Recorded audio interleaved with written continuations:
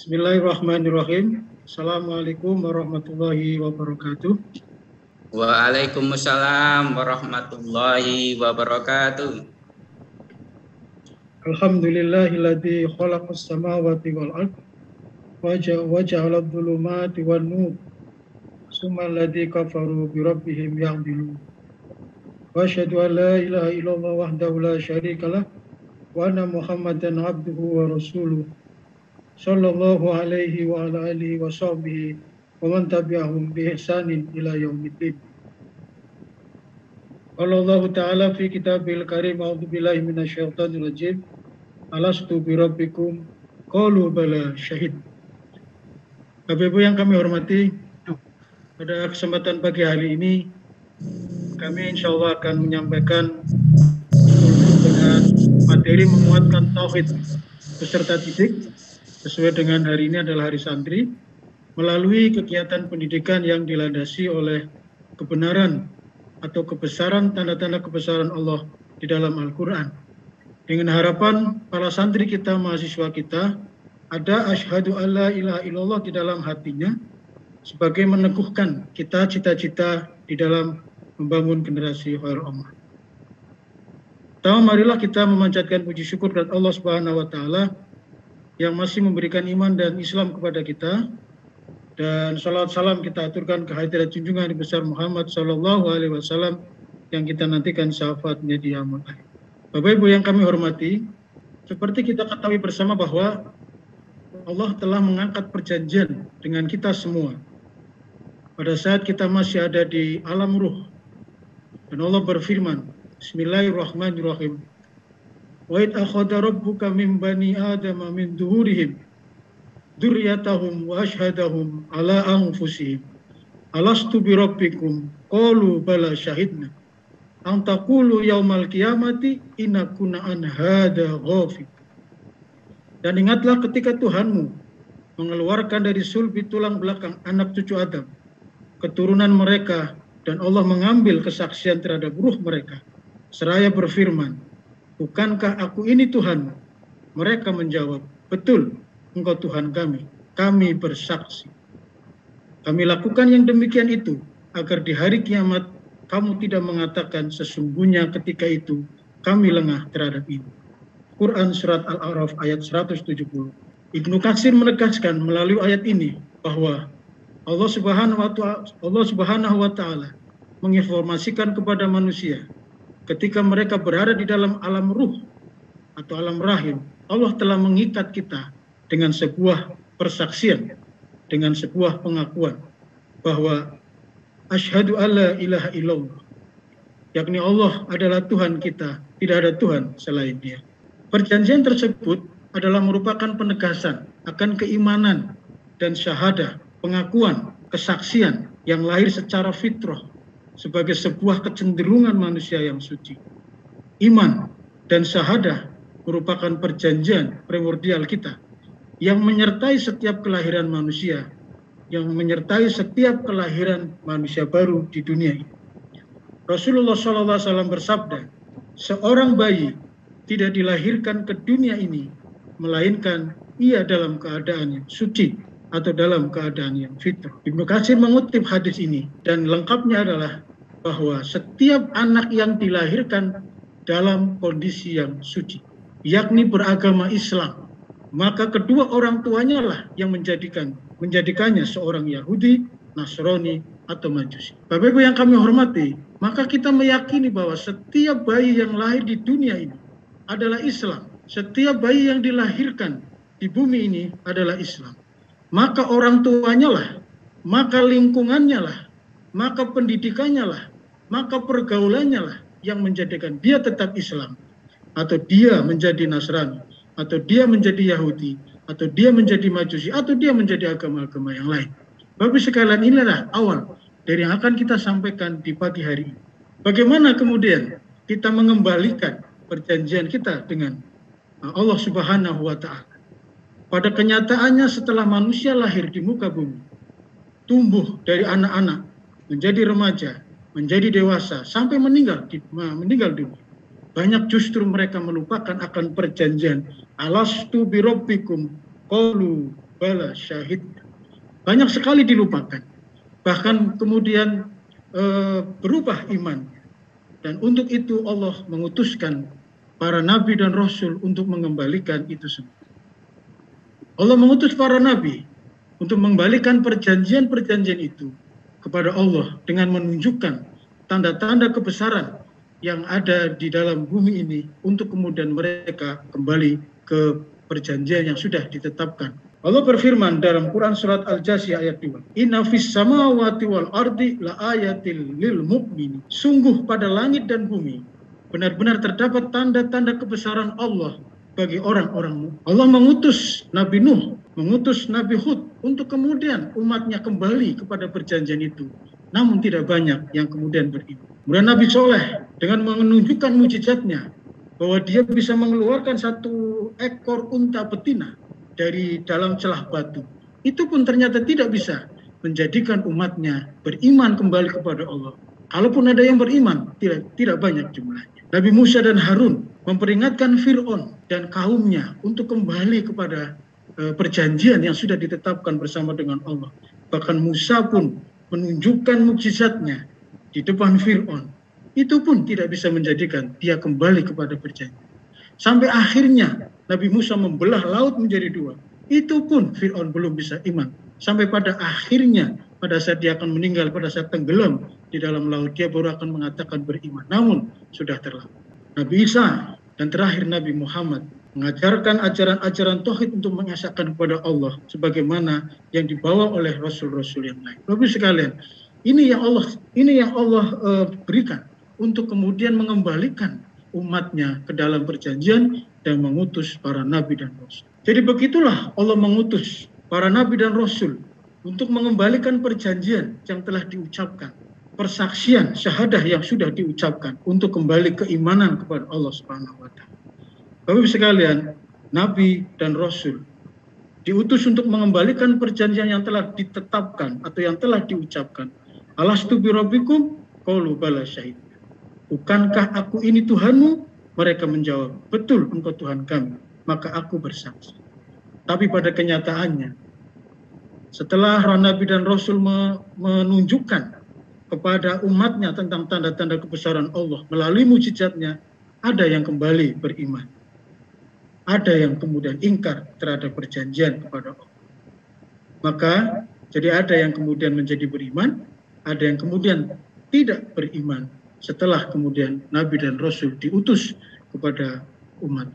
Bapak yang kami hormati, setelah Rasulullah SAW, kemudian bagaimana mengembalikan perjanjian itu? Setelah tidak ada Nabi dan Rasul, karena Nabi dan Rasul diakhiri oleh adanya oleh Nabi Muhammad SAW.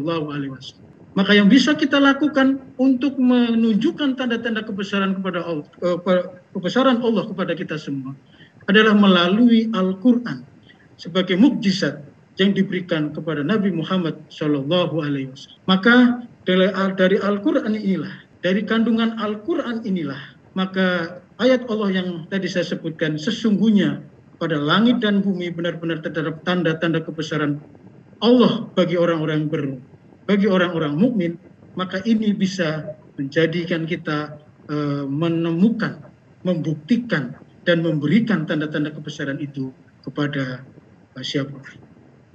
Maka dari ini kita punya dua pola untuk mengembalikan atau meningkatkan persaksian kepada Allah Subhanahu wa taala. Yang pertama adalah bagi mereka yang tadinya di alam di alam rahimnya dia sudah mengatakan qalu balas syahidna. Namun pada saat dia lahir menjadi kafir, maka dia kembali menjadi beriman. Nah, ada yang kemudian sudah uh, apa namanya bersaksi kemudian menjadi mukmin pada saat dilahirkan, maka ini akan menambah keimanan dan menambah keyakinan untuk kesaksian dan pengakuannya kepada Allah Subhanahu wa taala. Bapak sekalian, mari kita lihat pola yang pertama, pola yang belum beriman menjadi beriman. Kita mengenal ada Yakus Yaskostu, adalah seorang oceanographer dan ahli selam terkemuka dari Perancis. Pada saat dia menyelam, tiba-tiba dia menemukan beberapa kumpulan air tawar yang tidak tercampur dengan air laut. Seolah-olah ada dinding atau membran yang membatasi keduanya. Lalu dia mencari ada fenomena apa ini. Dia menanyakan kepada yang lain. dan dia menemukan jawabannya di dalam Al-Qur'an surat Ar-Rahman ayat 19 sampai 20. Dia membiarkan dua lautan mengalir yang keduanya kemudian bertemu. Antara keduanya ada batas yang tidak melampaui masing-masing. Ayat inilah yang menjadikan Yakus Yeskostu kembali ke imannya, kembali ke pengakuan dan kesaksian yang dulu pernah dia ucapkan pada saat dia di dalam alam Tuhan. Yang selanjutnya, kita mengenal ada Morik Bukaila, dikenal sebagai ilmuwan yang meneliti jasa Fir'aun, asal Perancis juga. Dalam lama di laut ini, masih lebih baik kondisinya dibanding dengan bumi Kita mengetahui bahwa pasukan Fir'aun pun tidak ada yang kemudian eh, apa namanya sudah hancur semua. Tidak ada jasadnya yang tersisa kecuali jasad Fir'aun. Kemudian eh, Morik Bukaile ini mencari tahu jawabannya dan dia menemukan jawabannya di dalam Al-Quran surat Yunus ayat 90. Maka pada hari ini kami selamatkan badanmu supaya kamu dapat menjadi pelajaran bagi orang-orang yang datang sebelum sesudah dan sesungguhnya kebanyakan dari manusia lengah dari tanda-tanda kekuasaan. Ayat inilah yang menjadikan Morik Bukail kembali ke imannya, kembali ke kesaksian dan pengakuannya yang dulu pernah dia sampaikan pada saat alam. Yang lain, Profesor William Brook, dia adalah peneliti suara halus yang dikeluarkan oleh tumbuhan dan dia merekam. Yang mengejutkan adalah hasilnya adalah getaran halus ultrasonik yang tertransfer dari alat perekam itu menggambarkan garis-garis yang membentuk lafat Allah. Profesor William mencari tahu jawabannya dan dia menemukan jawabannya di dalam Quran lagi yaitu Quran surat Al-Isra ayat ayat 44. Dan tidak ada sesuatu pun melainkan bertasbih dan memujinya. Tetapi kamu sekalian tidak mengerti tasbih mereka.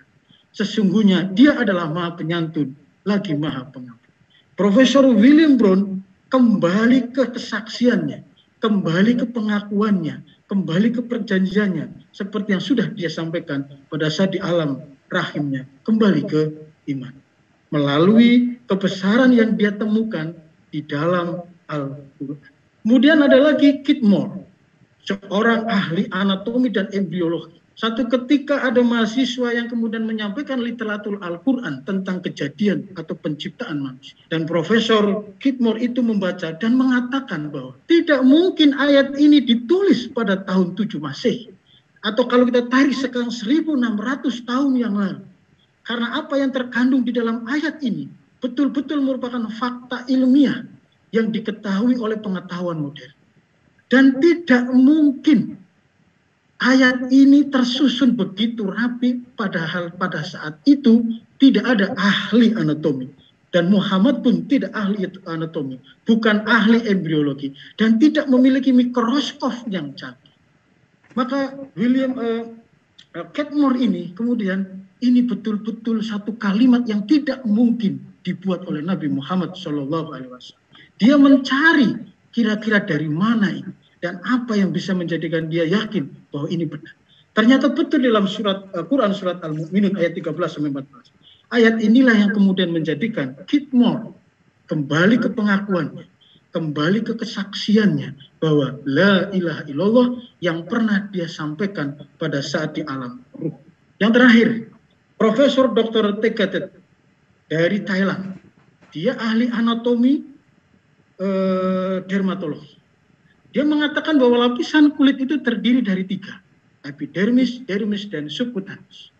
Dan dia mengatakan bahwa pada lapisan terakhir ter terdapat ujung-ujung pembuluh darah dan saraf yang bila kalau ini terbakar maka akan terjadi perasaan yang kemudian tidak terasa lagi. Dan ternyata dia mendapatkan jawaban dari Quran surat An-Nisa ayat 56 bahwa Allah akan memasukkan orang-orang kafir ke dalam neraka dan menggantikan kulit mereka yang baru setiap kali kulit itu habis terbakar. Jadi karena kalau kulit itu terbakar sampai pada lapisan terakhir maka sudah tidak merasakan sakit lagi. Maka Allah ganti dengan kulit yang baru agar dia merasakan betapa sakitnya berada di dalam api neraka. Ini yang kemudian ayat Al-Quran surat An-Nisa ini yang menjadikan Profesor Tegadet ini kembali ke pengakuannya, kembali ke kesaksiannya dari kesaksian yang dulu pernah dia sampaikan pada saat alam. Bapak Ibu sekalian, itulah pola yang yang, ber, yang terjadi bila seorang uh, yang tidak beriman kemudian menemukan uh, sebuah kebesaran di dalam ilmu pengetahuannya dan kemudian dia menemukan jawaban dari kebesaran itu di dalam Al-Qur'an, maka dia kembali kepada kesaksian dan pengakuannya. Bapak Ibu yang kami hormati, Pertanyaan selanjutnya adalah bagaimana dengan pola yang kita sudah beriman agar agar menguatkan kembali syahadah kita. Bagaimana dengan kita? Bagaimana dengan ma mahasiswa kita yang kita semua sudah muslim? Bagaimana syahadatnya? Bagaimana keimanannya?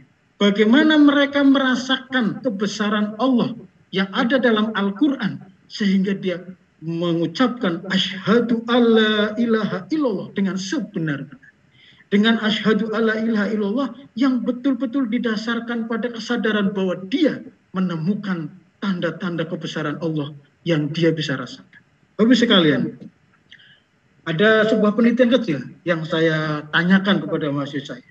Saat ditanya kapan Anda semua bersadat, jawabannya adalah waktu kecil, saat sekolah TK, saat SD. Kemudian siapa yang menjadikan Anda bersyahadat? Jawabannya adalah diajari orang oleh orang tuanya, diajari oleh gurunya.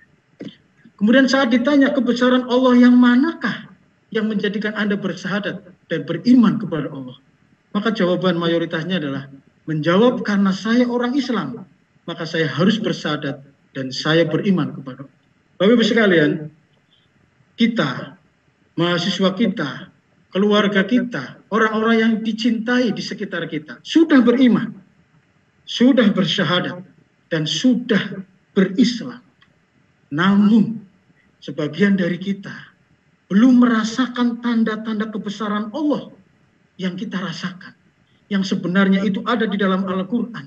Yang itu kalau kemudian disampaikan akan menjadikan syahadat kita, pengakuan kita, kesaksian kita kepada Allah akan semakin baik dan akan semakin berkualitas.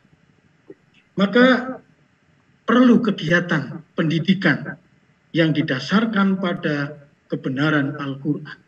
Bapak Ibu sekalian, pendidikan yang kita lakukan, pengajaran yang kita lakukan pada mahasiswa kita tidak boleh terlepas dari mukjizat Al-Quran. Karena di dalam Al-Quran Allah berfirman dalam surat Al-Fusilat ayat Fusilat ayat 53. Kami akan memperlihatkan kepada mereka tanda-tanda kebesaran. Tanda-tanda kebesaran kami di segenap penjuru dan pada diri mereka sendiri. Sehingga jelaslah bagi mereka bahwa Al-Quran itu adalah benar. Tidak cukupkah bagi kamu bahwa Tuhanmu menjadi saksi atas segala sesuatu. Bapak sekalian, kegiatan pendidikan kita yang diwarnai dengan mujizat Al-Quran akan menemukan tanda-tanda kebesaran Allah di dalam Al-Quran melalui ilmu pengetahuan yang diajarkan kepada mahasiswa kita. Ilmu ilmu pengetahuan kita yang kemudian betul-betul dilandasi akan kebesaran Allah yang ada di dalam Al-Quran akan menjadikan mahasiswa kita bersahadat atas kebenaran, atas tanda-tanda kebesaran Allah yang ditemukan di dalam ilmu pengetahuan yang diajari, yang diajarkan kepada mereka sehingga meningkatkan keimanan mahasiswa kita semua atau keluarga. Maka bagaimana menyampaikan kebenaran itu melalui ilmu pengetahuan. Maka kita punya 11 fakultas. Mujizat Al-Quran harus mewarnai ilmu pengetahuan yang ada di 11 fakultas kita. Sehingga menjadikan mahasiswa kita, menjadikan santri kita akan mengatakan, akan mengingat kembali alastu birobbikum olu bala syahid. Dan dengan menemukan tanda-tanda kebesaran Allah yang diajarkan di dalam program studi mereka masing-masing, maka mereka akan mengatakan asyhadu alla ilaha illallah. Bagus sekalian, ini yang mungkin perlu kita renungkan bahwa seluruh aspek pendidikan, seluruh aspek pengajaran yang kita berikan kepada mahasiswa, kita juga harus memikirkan bagaimana ilmu pengetahuan itu bisa menjadikan mahasiswa kita Eh, memberikan kesaksian dan memberikan pengakuan yang lebih berkualitas terhadap kebesaran Allah Subhanahu wa taala. Nah, kita bisa lihat misalkan di matematika, ya, di ilmu matematika.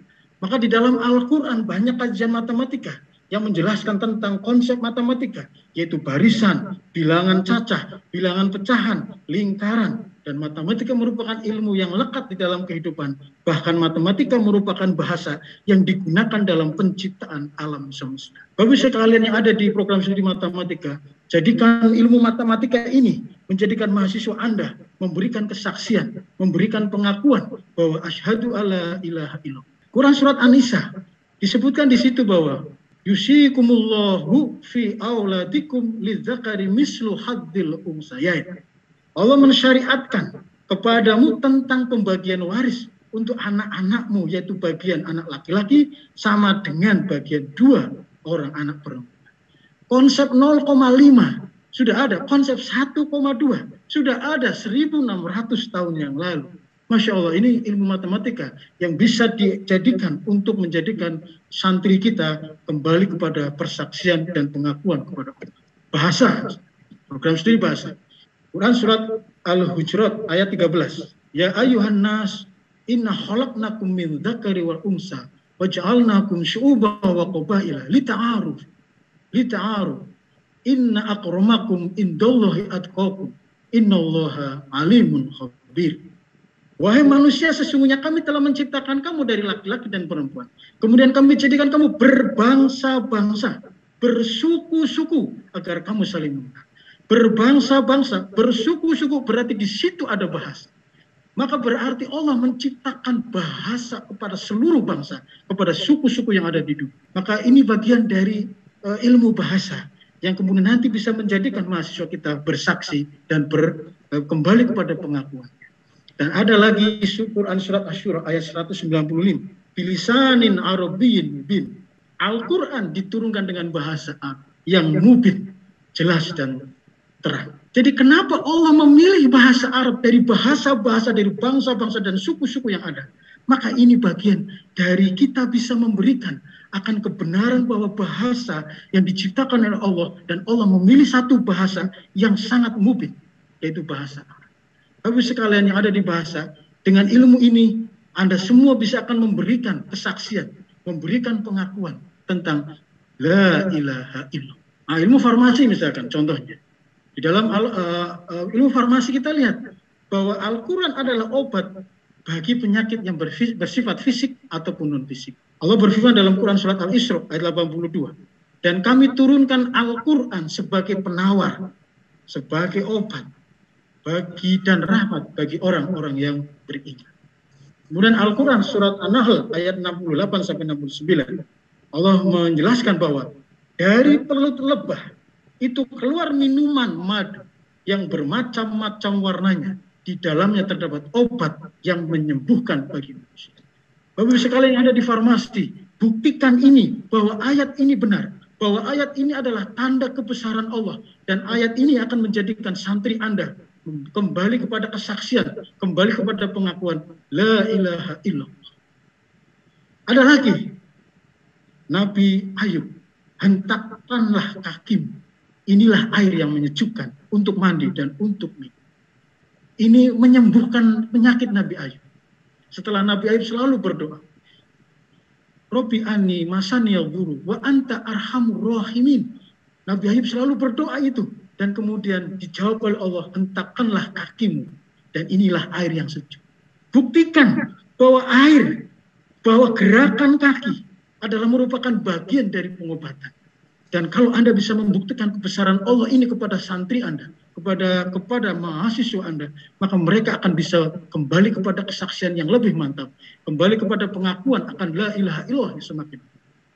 Ada lagi, pada saat Nabi Yusuf menyembuhkan ayahnya, Nabi Yakub, dia hanya maka usapkanlah baju ini ke wajahnya, Nabi Yakub.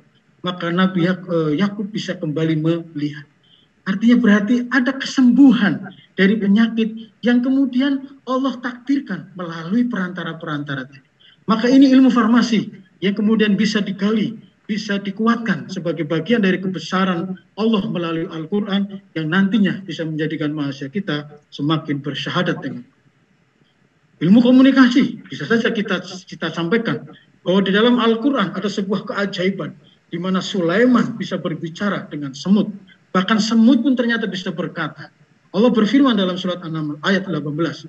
Hingga ketika mereka sampai di lembah semut. berkatalah seekor semut. Maka ini komunikasi. Dan betul-betul bahwa bahwa bahwa semut ini ternyata juga bisa berbicara, bahkan bisa berbicara dengan Nabi Sulaiman. Kejahatan tadi yang saya disampaikan oleh Prof. Eh, apa namanya Kitmore itu bisa disampaikan pada saat menjelaskan tentang anatomi dan fisiologi pada mahasiswa-mahasiswa di Fakultas Kedokteran, eh, Keperawatan, kemudian kebidanan dan seterusnya. Ini bisa disampaikan di mereka. Ekonomi banyak sekali kajian-kajian tentang jual beli haram, eh, mengharamkan riba, menghalalkan jual beli. Kemudian juga perniagaan. Itu bagian dari hukum-hukum Allah yang bisa dijadikan untuk menguatkan eh, apa namanya ke, kesaksian dan pengakuan kepada Allah Subhanahu wa taala. Maka masih banyak lagi eh, kebesaran-kebesaran Allah yang bisa kita sampaikan yang bisa kita berikan kepada peserta didik kita melalui ilmu pengetahuan yang diajarkan kepada mereka. Maka Bapak Ibu sekalian, yang kita harapkan dari kultum kita hari ini adalah mahasiswa kita bersahadat diajarkan guru dan orang tua kita masih saat, saat masih kecil. Ini yang kita dapatkan. Maka dengan program pendidikan yang kita lakukan, program pengajaran yang kita berikan, maka kita bisa menunjukkan dan bisa merasakan kebesaran Allah melalui ilmu pengetahuan, melalui uh, ilmu-ilmu, keterampilan-keterampilan yang diajarkan kepada santri kita, kepada mahasiswa, dengan harapan mahasiswa dengan kebesaran Allah itu, dengan ilmu pengetahuan itu, merasakan kebesaran Allah, dan kemudian dia bersahadat dengan sebetul-betulnya, sahadat yang diucapkan karena dia menemukan, merasakan tanda-tanda kebesaran Allah. Memperbaiki syahadat yang dulu pernah dia ucapkan manakala diajari oleh gurunya, diajari oleh orang tuanya, menjadi sebuah syahadat yang betul-betul berkualitas, yaitu syahadat yang diucapkan atas dasar menemukan kebesaran Allah melalui ilmu pengetahuan yang dia dapat, yang diajarkan oleh guru-gurunya, yang diajarkan oleh dosen-dosen. Bapak sekalian, itulah yang mungkin ingin saya sampaikan kepada Bapak sekalian pada eh, kesempatan kali ini. Dan Mudah-mudahan kita semua bisa merasakan kebesaran Allah, bisa merasakan tanda-tanda kebesaran Allah, dan bisa kembali mengucapkan syahadat, memberikan kesaksian, memberikan pengakuan yang sebenar-benarnya atas dasar kebesaran Allah yang kita temukan di dalam Al-Quran. Saya rasa itu yang mungkin bisa saya sampaikan pada kesempatan kali ini. Mohon maaf bila ada yang kurang berkenan di hati Bapak Ibu sekalian. Terima kasih. Bila taufik walidayah. Wassalamualaikum warahmatullahi wabarakatuh.